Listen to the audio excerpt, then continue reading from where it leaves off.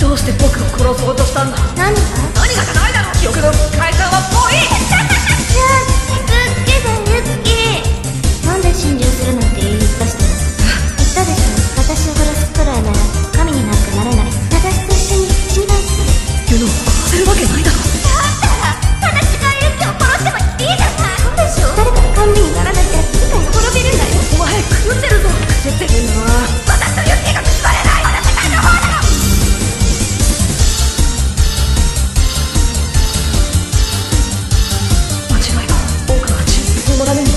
殺した。じゃないか。もう責任なんか取りきれないから